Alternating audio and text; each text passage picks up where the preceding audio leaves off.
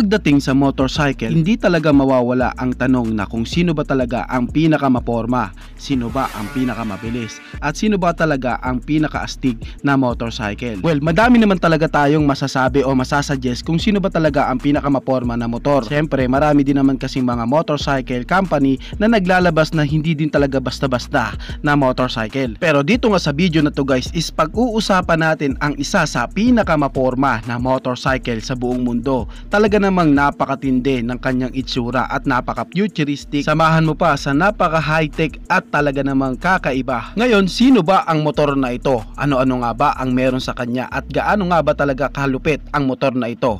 Yan ang sama-sama nating aalamin. Kaya samahan nyo ako guys na pag-usapan ang motorcycle na ito. Pero bago yan, baka pwede naman na pasubscribe ng aking YouTube channel.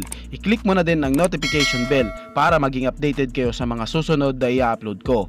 Guys, baka pwede naman na palike and follow ng aking Facebook page. Nasa description po ang link. Kaya make sure guys na tapusin nyo ang video na ito para malaman nyo ang information may kinalaman sa motorcycle na ito. Redneck Basement.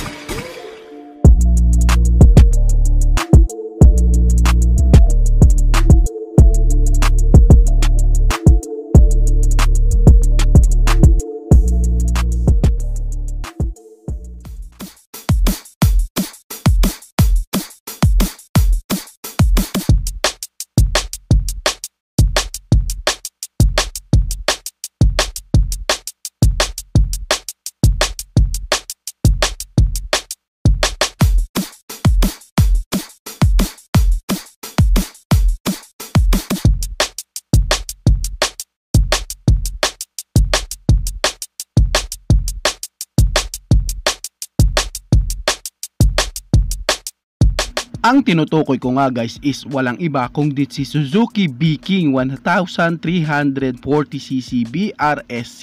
Ang tunay talaga na itsura ng Suzuki B-King guys ay ito po. Pero guys, ito nga pong ating pag-uusapan ay isa nga pong modified na motorcycle na B-King at aalamin natin kung sino nga ba ang owner at ang nag-create ng modified na ito.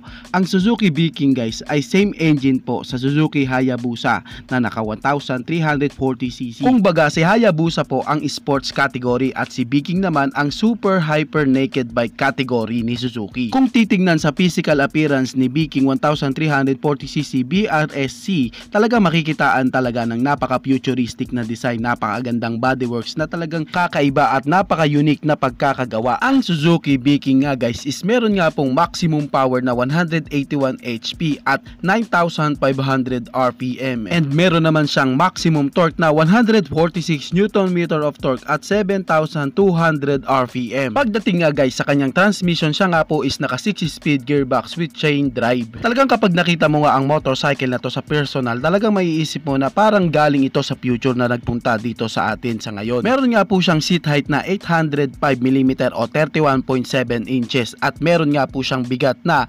235 kg. Pagdating guys sa kanyang mga dimension, meron nga siyang length na 2,220mm o 87 inches at meron siyang width na 800mm o 31 inches at meron siyang height na 1085mm o 42.7 inches. At pagdating naman sa kanyang fuel tank capacity, meron nga po itong 16.5 liters at meron siyang oil capacity na 4 liters. At dahil nga sa talagang napaka-bulky ng super hyper naked bike na ito, talagang kailangan nito ng magandang braking system. Pagdating nga po sa kanyang braking system, sa unahan is ginamitan nga po ng 310mm 4-piston radial mount caliper. Dalawa nga po ang kanyang disc brake sa harapan at sa kanyang likuran naman is meron nga pong sukat na 260mm 1-piston caliper single disc brake. Naka full LED nga po ang kanyang mga ilaw at napaka-aggressive nga po ng kanyang looking sa kanyang headlight na talaga namang napaka-futuristic ng design. Kapansin-pansin talaga guys sa kanyang mga maliliit na detalye na talaga namang napakapulido ng pagkakagawa. Samahan mo pa sa kanyang side mirror na nakalagay nga po sa bar end para lalong maging highlights at maging malinis ang design ng kanyang handlebar. Street Fighter nga po kung titingnan talaga ang baking na ito. At pagdating nga po sa kanyang body posture ng rider, medyo aggressive nga po ang postura ng rider dito dahil nga sa medyo nakababa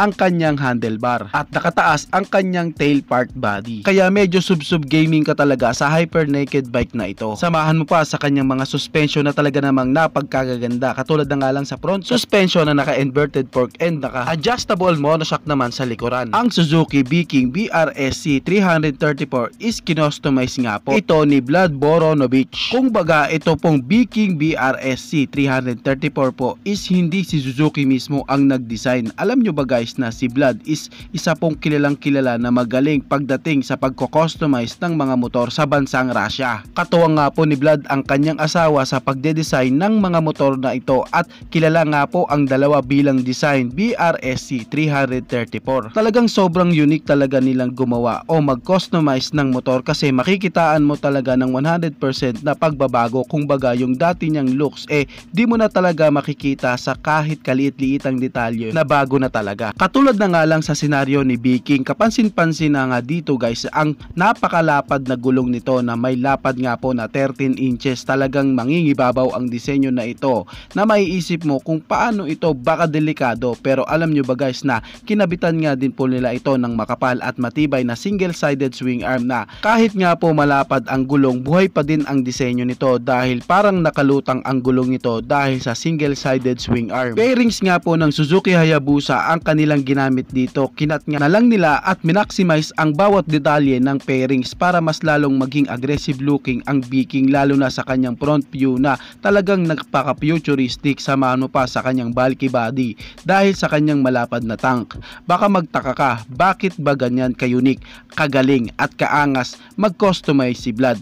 Tipong talagang kakaiba, talagang pang world class talaga. Well, asahan na natin yan guys dahil matagal na nga pong nasa ganitong industry si Vlad. Sa katunayan, 17 years old pa lang siya. Ito na ang ginagawa niya. Kaya makakaasa talaga tayo na napakaangas, napaka-forma ng mga customized ni Vlad dahil sa tagal niya na sa ganitong larangan. Lalo ko talagang na-appreciate ang design nito sa kanyang exhaust na mas pinaikli nila para nga po mabigay buhay ang disenyo ng kanyang taillight na napakaangas. Samahan mo pa sa kanyang side view na talaga namang sobrang ganda ng pagkakagawa. Talaga namang napakaangas ng motor na ito, napaka macho na talaga namang masasabi mong sobrang kakaiba, solid sa ganda at high-tech sa mga new technology na ginamit sa kanya. Talagang napaka-solid ng pagko-customize sa Viking na ito, si Suzuki Viking BRSC 334. Kayo guys, ano ang masasabi nyo sa motorcycle na ito? Pakicomment naman ang inyong reaksyon. Maraming salamat po.